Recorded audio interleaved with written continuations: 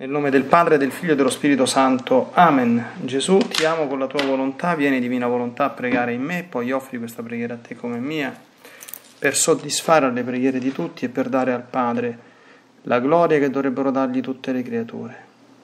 Mia Divina Maria, ti amo nella divina volontà, Regina Immacolata, Celeste Madre mia, vengo sulle tue ginocchia materne per abbandonarmi nelle tue braccia per chiederti coi sospiri più ardenti che mi ammetta a vivere nel regno della divina volontà.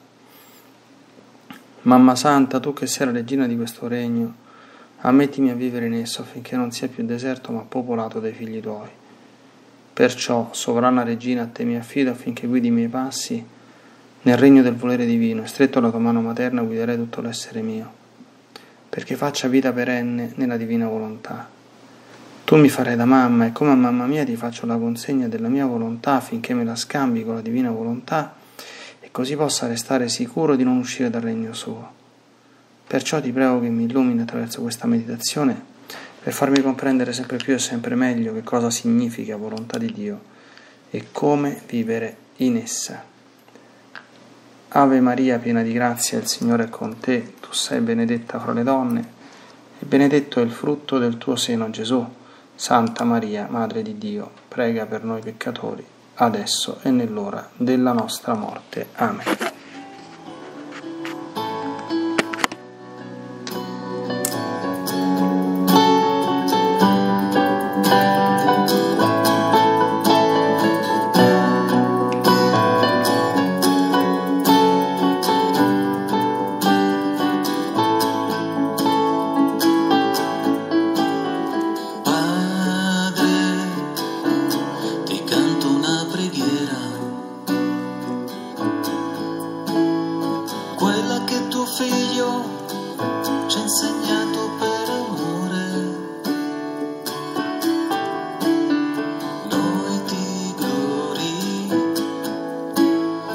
Yeah.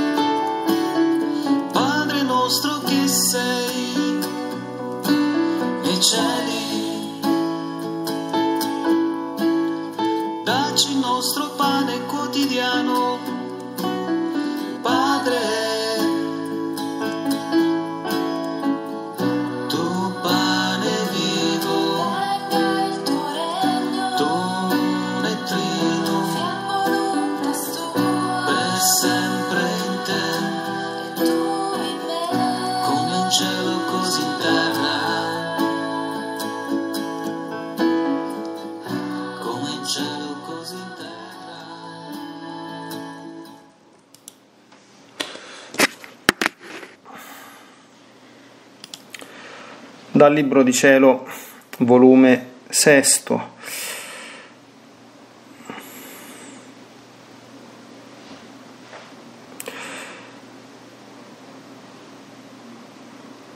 Capitolo 47, 20 giugno 1904.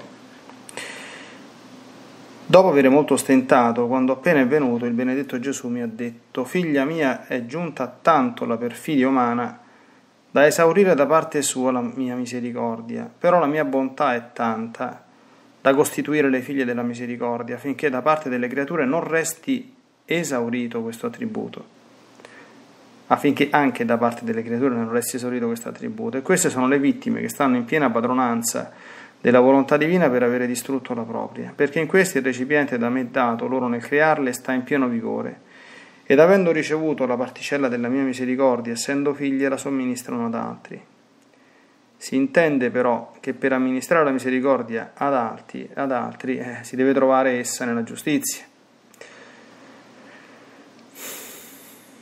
Ed io, Signore, chi mai si potrebbe trovare nella giustizia? E lui, chi non commette peccati gravi e chi si astiene dal commettere peccati veniali leggerissimi di propria volontà. Capitolo 48, 29 giugno 1904. Questa mattina, trovandomi nel solito mio stato, appena si è fatto vedere il mio adorabile Gesù e mi ha detto: Figlia mia, il segno quando la mia giustizia non può più sopportare l'uomo e sta in atto di mandare gravi castighi, è quando l'uomo non può più sopportare se stesso, perché Dio, respinto dall'uomo, da lui si ritira e fa sentire all'uomo tutto il peso della natura, del peccato e delle miserie.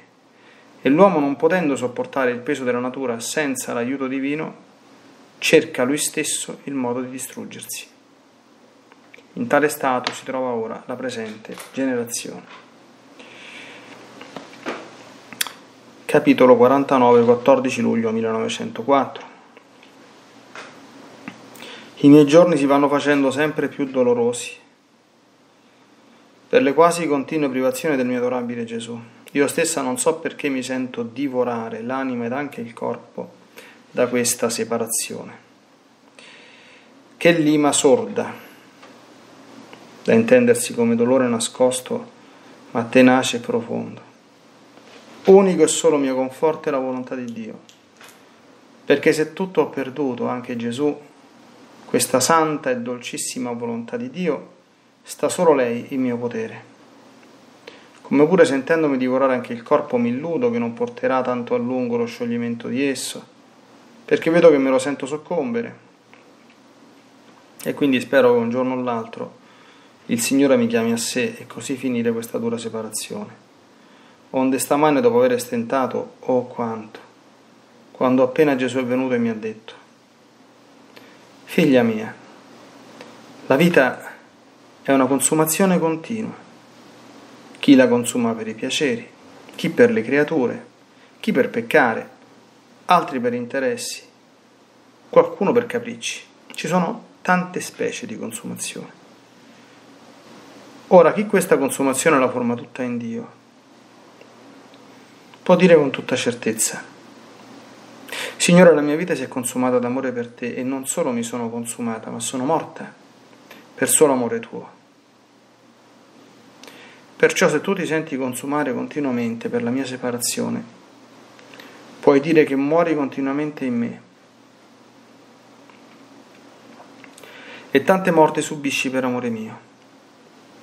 E se tu consumi il tuo essere per me, per quanto è consumazione di te, altrettanto acquisti di divino in te stessa.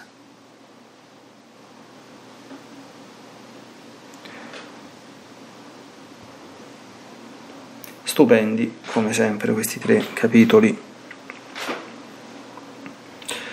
e distintamente significativi ed importanti per la vita interiore e anche per la comprensione di alcuni concetti anche diciamo teologici ecco, o spirituali molto importanti. Il primo è incredibile, cioè la misura del peccato dell'uomo, intanto è giunta l'apertura la, la perfidia umana, dice da esaurire da parte sua la mia misericordia, cioè che cosa significa questo? No? Significa che la misericordia di Dio chiaramente è infinita in se stessa e non può essere esaurita, diciamo così, né vinta nemmeno da tutte le più peggiori nefandezze che si potessero commettere.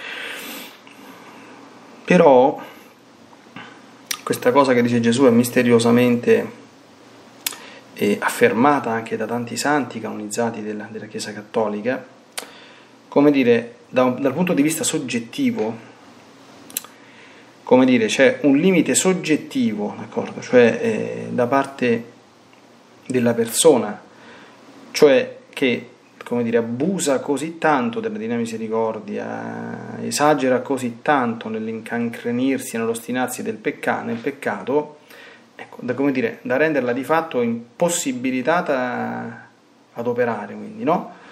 E quindi, cioè tale, come dire, da non lasciare mh, altra, come dire, possibilità, altra alternativa salvifica, ecco, fino a quando siamo in questo mondo così è a Dio, che esercitare la giustizia, quindi che cessare la misericordia. Questo è un tema ricorrentissimo negli scritti di Luisa, no? bracci, di ferro, bracci di ferro tra Luisa e Gesù, che lui vuole castigare, e Luisa invece si offre come vittima. Allora Gesù qui spiega, però questi per canto loro la esauriscano, ma io, dal momento che, che capite, qui, qui c'è un problema, l'inesauribilità della misericordia in se stessa da parte di Dio, e invece la possibile esauribilità di essa per l'abuso che se ne fa da parte delle creature. È un concetto delicato, spero che si riesca a comprendere.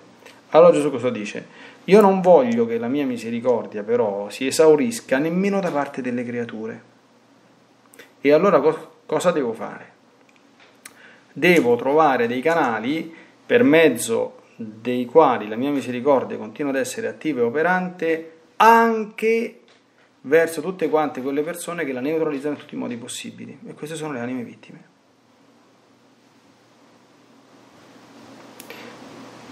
E in queste recipiente hanno, ricevono la particella della mia misericordia e la somministrano ad altri. È chiaramente un compito austerissimo questo, perché numero uno, perché questo accada, le anime vittime devono essere pronte a soffrire come dire, per soddisfare alla giustizia per quanto riguarda i peccati altrui. Gesù però vi spiega che c'è anche un'altra condizione, che nessuno può assolvere a questo incarico, cioè non possono amministrare la misericordia ad altri, se non si trovano essi stessi nella giustizia.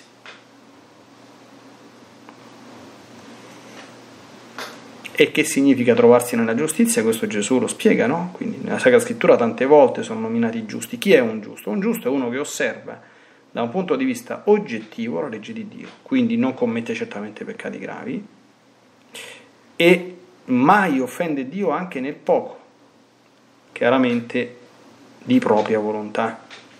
Ci sono una montagna di peccati conosciuti in ascetica sono i peccati di debolezza, i peccati di ignoranza, i peccati semideliberati, quelli che ci scappano senza che noi insomma riusciamo, quindi non sono questi che tolgono la giustizia, no? Però anche un peccato veniale leggerissimo che di per sé, come insegna Santa Madre Chiesa, non, eh, non fa perdere la grazia, ma la raffredda, ecco, in relazione all'adempimento però di questo austero compito, di questa austera missione, metterebbe in difetto. Perché cioè, se io dico una bugia bianca, la voglio dire che è una cosa piccola, la bugia bianca offende il Signore, perché è formalmente contrario all'ottavo comandamento, quindi la bugia bianca non si dice per nessun motivo si può e si deve trovare il modo in tante circostanze di dire il vero senza dire tutto, certamente, e né siamo sempre tenuti, come si dice nei processi americani, a dire tutta la verità, d'accordo? E a tutti, questo sarebbe folle, sarebbe no? Certo, se uno c'è un processo dove ha visto una testimonianza, certo che deve dire tutta la verità, no? E, ecco, quindi a queste condizioni, bellissimo questo paragrafetto che ci fa comprendere come purtroppo sì, l'uomo possa dire, in qualche modo stancare, ecco, mm, dire, mm, esaurire, ripeto, da un punto di vista soggettivo, non da un punto di vista soggettivo perché una goccia del sangue di Gesù basta a salvare i peccati di tutta l'umanità, questo è assolutamente eh, acclarato, quindi dire il contrario sarebbe dire una grandissima eresia e quindi è lecito, non è lecito a nessuno mai dubitare della divina misericordia da un punto di vista oggettivo. Ecco.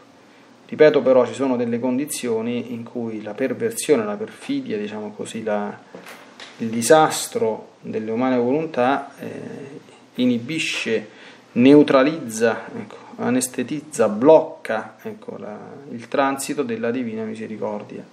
E qui entra in campo, in gioco, il ministero austerissimo e nascosto, tra l'altro, delle anime vittime che poi avremo modo di conoscere e di ringraziare. Quando Dio piacendo ci troveremo in paradiso, le conosceremo, queste grandi anime. Ecco, poi nel secondo eh, capitoletto che si chiama proprio il segno per conoscere che Dio si ritira dall'uomo, no? ecco, che è molto eh, in continuità con quanto detto precedentemente. No? Dio non si ritira da nessuno, d'accordo?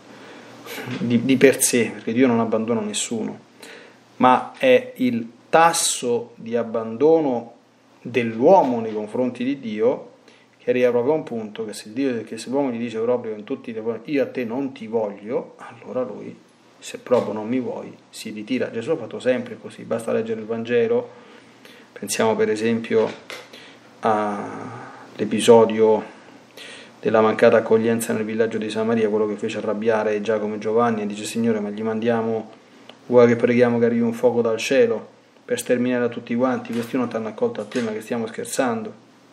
E Gesù gli dice, ma oi, non mi hanno accolto, me ne vado, dove mi accoglieranno? Quindi è evidente, no? Cioè, l'uomo poi se la prende sempre col Padre Eterno, comincia a dire sciocchezze tipo Dio mi ha abbandonato, ma non è così. Sei tu che hai abbandonato il Signore. Ecco, il segno quando la mia giustizia non può più sopportare l'uomo è stenato di mandare gravi castighi, è quando l'uomo non può più sopportare se stesso. E qual è questa dinamica?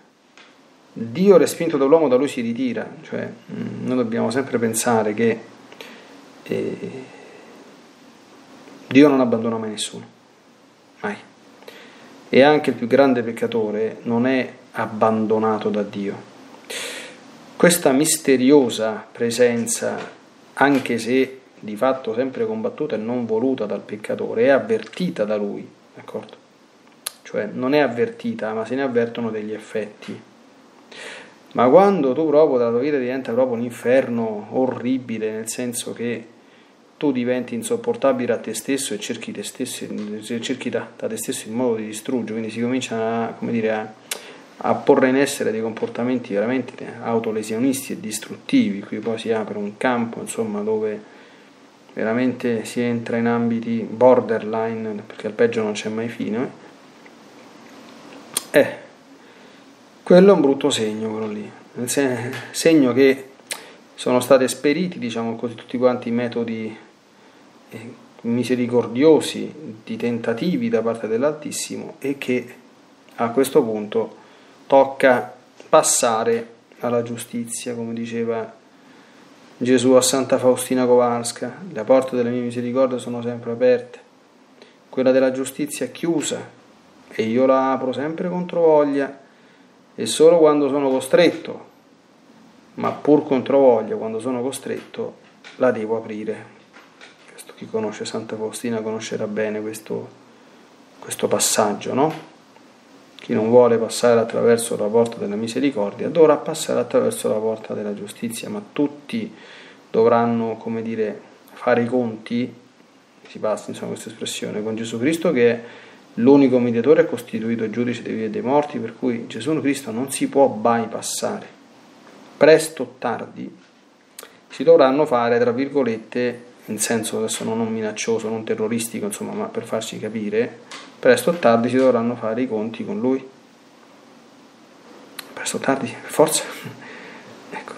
Ed è meglio risolvere i conti, lui è il primo, diciamo così, risolutore pacifico delle controversie in via Bonari. Ecco. Gesù è, se facesse l'avvocato farebbe tutte transazioni, non andrebbe mai in aula insomma, a fare i, i processi. No?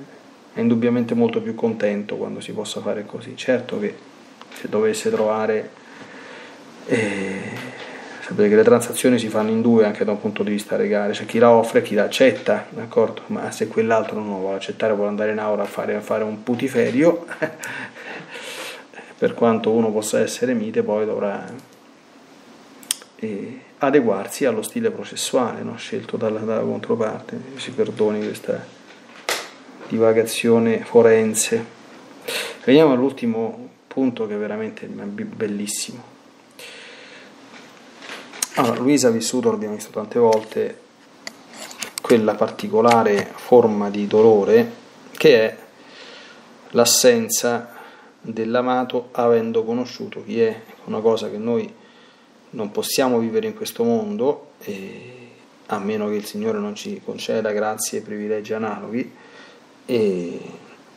perché noi non ci rendiamo conto di quello che Dio è, di quanto è bello il paradiso, della Santissima Umanità di Gesù, della Santissima Umanità della, della Madonna, no? Se questo fosse, uno non camperebbe più perché starebbe veramente, cioè noi immaginiamo, no? proviamo a immaginare quando siamo, quando abbiamo una persona proprio tanto tanto cara, non so, un, un figlio, un genitore nei confronti di un figlio, un innamorato nei confronti della fidanzata, insomma, cioè, quando tu hai una separazione forzata, però tra noi esseri umani è sempre un pochino, cioè c'è un dispiacere immenso, no? quindi c'è un dolore grande, insomma, no? poi noi mortali, grazie a Dio, abbiamo sempre il fattore tempo, per cui ci facciamo un'abitudine, ci facciamo una ragione a tutti. Pensiamo quando muore una persona cara, no? è una separazione, cioè tu non lo puoi eh, più sentire, non ci puoi più parlare, non lo puoi più vedere, insomma, quindi no, certamente è una cosa gradevole, no? Eppure queste sono tutte creature, quindi le creature sono limitate, no? Quindi eh, le creature portano certamente tante cose belle, ma sicuramente con ogni creatura, anche la più cara che ho, insieme a ricordi molto belli, conserverò nella memoria forse anche qualche ricordo meno bello, d'accordo? Perché siamo tutti quanti creature, quindi siamo tutti quanti imperfetti e limitati, non nessuno di noi può allietare totalmente il prossimo senza dargli alcun dolore. Noi ci possiamo provare, insomma, a fare in modo che la nostra vita arrechi il meno dolore, il meno danno possibile a chi ci sta intorno, ma ce ne vuole, insomma, per raggiungere un elevato grado di santità tale da renderlo possibile. Eh, però con Gesù e con Maria e con Dio non è così, perché se tu lo intercetti, noi questo certamente possiamo soltanto immaginiamo che cosa si vada a conoscere, no? E quindi immaginiamo, poverini, lo stato dell'anima di questi e figlioli, dice, eh, ma beati loro hanno visto Gesù. Eh sì, beati loro hanno visto Gesù, però 14 luglio, eh, abbiamo 29 giugno, sono 15 giorni, ma che saranno 15 giorni? E se uno si legge gli scritti dei santi, 15 giorni di astinenza in questa situazione ti fanno morire di dolore, quindi dice questa la lima sorda, no? eh, c'è una nota negli scritti che dice questo è un dolore eh, profondo, nascosto, ma tenace e profondo. Ecco, allora però qui Gesù gliene spiega il senso. E senso per lei, ma senso anche per tutti. Allora, il problema è questo qui. La nostra vita è una consumazione, d'accordo? Una consumazione innanzitutto da, da un punto di vista oggettivo, perché ogni, ogni giorno che passa si è consumato un giorno di vita, è finito. E oggi è il 4 settembre 2018, il 3 settembre 2018 si è consumato, non tornerà mai più. Forse arriverà un 3 settembre 2019, un 3 settembre 2020, 2021, ma il 3 settembre 2018 non c'è più. Quindi la nostra vita viaggia oggettivamente verso la sua consumazione, lenta, d'accordo? È come quando uno mettesse, diciamo così, del, l'immagine dell'olio nella lampada, no? D'accordo? O della benzina nel serbatoio. Quella si consumerà, finirà, d'accordo? Non c'è, non c'è, chance.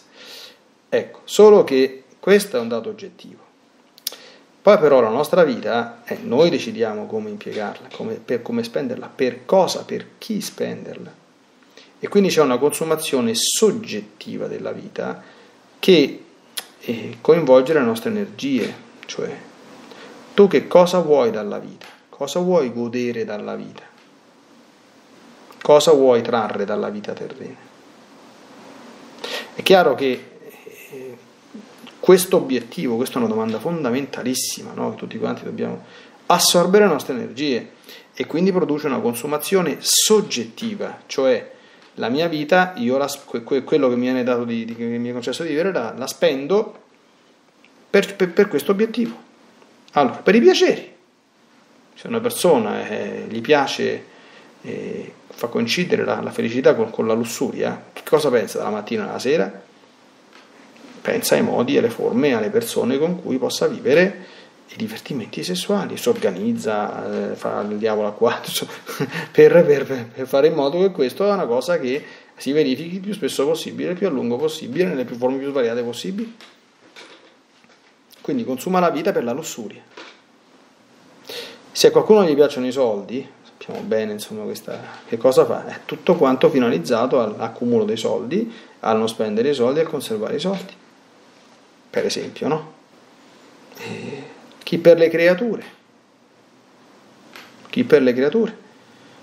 questa è una cosa molto molto vicina, per conquistare l'affetto o mantenere l'affetto di qualcuno. Qui entrano alcune dinamiche anche molto molto profonde su cui dobbiamo veramente andarci profondamente a interrogare nel cuore, no? Anche cercare la fama, anche cercare il successo umano. che cos'è il successo umano? È l'applauso delle, delle creature, non so, diventare un personaggio famoso, diventare un attore, diventare un calciatore. Che, che cosa fanno? Questi diventano delle star, degli idoli, no? L'attore, il cantante, il calciatore, insomma. Eh, insomma, non è che cioè, per diventare l'attore, cantante e calciatore devi sputare sangue, devi sputare, no? perché cioè devi fare tutte quante le gare, devi lavorare, lavorare, lavorare, un grande musicista, non lo so, no? Tutte quante le cose che nella vita eh, assorbono le, le energie. Altri la sprendono per i capricci, purtroppo, specialmente le persone che sono un po' spendaccione e che vogliono togliersi tutti quanti i capricci più stravaganti, no? il mondo della, della, moda, per esempio del lusso, ne dà un'esemplificazione, un'idea, no?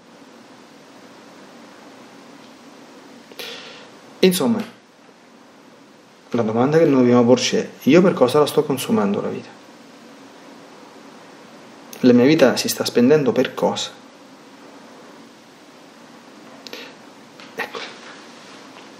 Si può consumare la vita per Dio. Qui è quello che chiaramente Gesù spiega e afferma, no? E anche nelle, nelle circostanze ordinarie, no? chiaramente eh, i periodi di, di, di, lontananza per Luisa erano proprio giorni di consumazione, giorni di, di dolore profondissimo, giorni di desiderio, giorni di invocazione, giorni di attesa ma è chiaro che dalla parte del Signore, eh, il Signore le vede quelle cose, no? Quindi vede quanto quella creatura lo sta amando, lo sta desiderando e questa la fa crescere la nobilità. Più consumi il tuo essere per me, altrettanto acquisti di divino in te stessa. Perché questa persona comincia a praticare e a vivere un po' il primo e il più grande comandamento, che non se lo fila nessuno. Amerai il Signore Dio tuo con tutto il tuo cuore con tutta la tua mente con tutte le tue forze. È Lui il centro. Ecco, dici, ma io non l'ho mai visto nostro Signore, quindi come faccio a capire questa cosa? Non abbiamo mai visto nostro Signore, però se una persona, e questo chiaramente io ho sempre detto che gli scritti di Luisa sono adatti a chi, come dire, si è messo un po' in cammino verso la santità, no? Cioè una persona che non sa neanche che cosa sia l'adorazione eucaristica, la preghiera profonda o la meditazione profonda, no? quindi che non ha per esempio mai sentito nemmeno quelle cose che tutti sentono, cioè tutti quelli che vivono un pochino di preghiera risentono alcune cose, no? quindi avvertono la presenza divina in maniera misteriosa, avvertono la sua consolazione, avvertono quei, quei gaudi, quei diretti interiori spirituali che si vivono alla presenza di Dio, sono cose normalissime, non sono esperienze mistiche, queste sono cose molto molto ordinarie. E già nell'ordinarietà eh, basta leggere l'imitazione di Cristo, no? Sono, oppure gli scritti di Sant'Ignazio di Loyola, cioè la vita interiore passa in un'alternanza da tempi di fervore e tempi di aridità, tra tempi di consolazione e tempi di desolazione, gli autori usano termini differenti. Allora, Dio ti, ti, ti consola perché? Prima perché ti, fa, ti dà delle piccole chicche del, del, suo amore, perché Dio è contento se noi siamo contenti, no? Poi te lo toglie perché vuole che, arroventato da questo, tu lo servi, lo cerchi lo desideri anche quando lui non si fa sentire in questa forma, diciamo, chiamiamola sensibile, eh, di percepibilità in te. E questo ti fa crescere nelle virtù, ti fa crescere l'amore verso di lui. Stai tranquillo che dopo un certo tempo si farà risentire. Cioè, eh, io ho sempre detto che quando comincia ad essere un tempo troppo lungo, sono due le cose, o tu ti sei intiepidito, quindi di andare a fare un esame di coscienza, che sono molte cose che ti hanno allontanato da Gesù, oppure sei un'anima straordinarissima, perché è successo qualche volta, insomma, che anime che hanno chiamato a grandissima perfezione, cioè eh, Gesù gli ha fatto fare l'anticamera del purgatorio, nel senso lasciandole per tantissimo tempo, proprio prive di ogni consolazione, ma questo è un fatto molto molto raro anche nella nella mistica in senso stretto e nella geografia, cioè di, di santi canonizzati, è rarissimo che questo accada. Ecco, quindi mm, se io non avverto nulla, cioè, capite, adesso qui dopo, dopo noi dobbiamo situarci, no? ma la domanda fondamentale è per, per, per chi sto consumando la vita? Per cosa? Per chi o per cosa? Ecco, perché se scelgo di consumarla per Gesù è impossibile che lui non si faccia sentire, è proprio impossibile. E quindi quando leggerò queste cose di Luisa certamente non le possiamo capire alla perfezione, no? perché ci vuole di mettersi nelle sue stesse condizioni, però qualche, ra, qualche, qualche lontana diciamo così, rappresentazione ce la possiamo fare. Perché se io ho avuto una consolazione da parte del Signore, poi mi ritrovo in un periodo di prova, di tribolazione, eh, oppure di, di, di, di, freddezza del Signore che non mi si manifesta, eh, io sto male. E sto male non nel senso che faccio il piagnisteo, ma eh, la dinamica dell'amore mi porta a desiderare, a chiamare Gesù, a cercare Gesù. E vede quello che dice Luisa, mi resta la santa e la dolcissima divina volontà.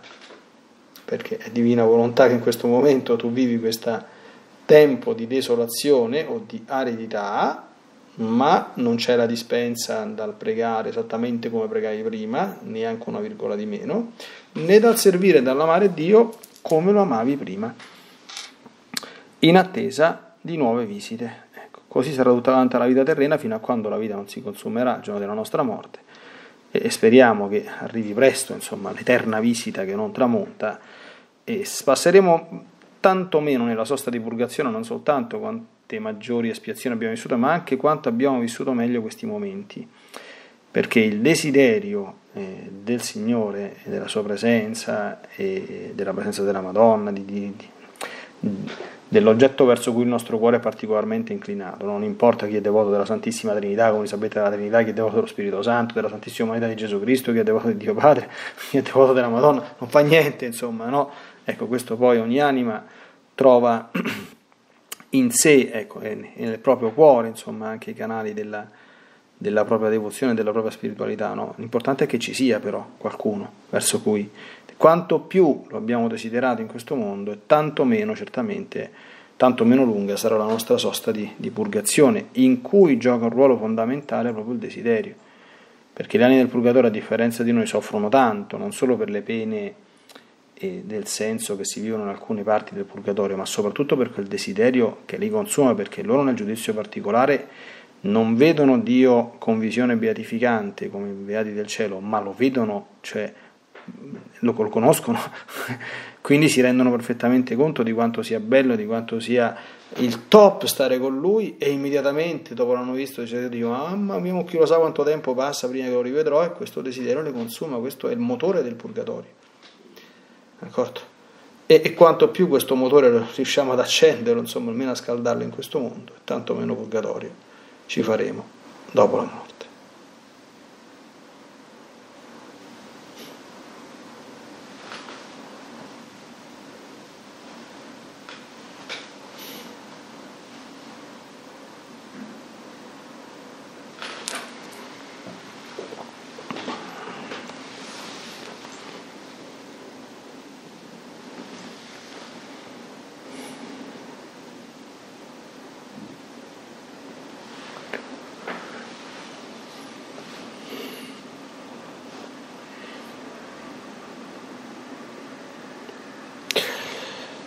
Bene, Santa Vergine Divina Maria, concedici innanzitutto la grazia, anche se non abbiamo con l'onore e l'onere di essere anime vittime, di poter vivere sempre in grazia, quindi, senza debiti con la divina giustizia. Quindi, ricordando che non c'è compatibilità tra divina volontà e peccato volontario, fosse anche leggerissimo. Questo aiutaci a mettercelo bene in testa e a metterlo bene in pratica, anzitutto. E e poi eh, sii presente nella nostra anima perché possiamo entrare bene dentro noi stessi per vedere per chi o per cosa stiamo spendendo e consumando la vita. E alla luce di quello che abbiamo meditato e, e anche un po' di, di, di, un po' di sana sapienza, ecco, possiamo fare la scelta giusta, ecco, scegliere di spendere e consumare la vita per te, per Gesù, per la gloria della Santissima Trinità ecco, vivendo in questo mondo tutto divino, che è il mondo del divin volere, che sempre ci resterà a disposizione e che certamente non ci farà mancare nei modi che lui sa, proporzionati alla nostra maturità interiore, al nostro grado di perfezione, eccetera, però ci mancherà certamente di manifestarci qualcosa ecco, della sua bellezza, della sua letizia e, degli infiniti gaudi e diletti che la sua presenza produce nella divina volontà, nel nome del Padre, del Figlio e dello Spirito Santo. Amen. Ti benedico per aiutarti, ti benedico per difenderti, ti benedico per perdonarti, ti benedico per liberarti da ogni male, ti benedico per consolarti, ti benedico per farti santo, ti benedico dunque nella divina volontà, nel nome del Padre, del Figlio e dello Spirito Santo. Amen. Fiat Ave Maria.